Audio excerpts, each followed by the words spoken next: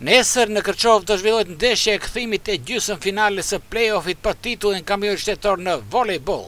Kundërshtar i nesërm i Shutovës është Universiteti i Tetovës, të cilin ekip kërçovarët në ndeshjen e parë e patën mundur në mes të Tetovës me rezultat të thellë tre me zero në seta, prandaj në rast fitorje të Shutovës nesër kundër Universitetit të Tetovës në Kërçovë, atëherë Shutova do kalojë në finalen e madhe për të luftuar për titullin e kampionit.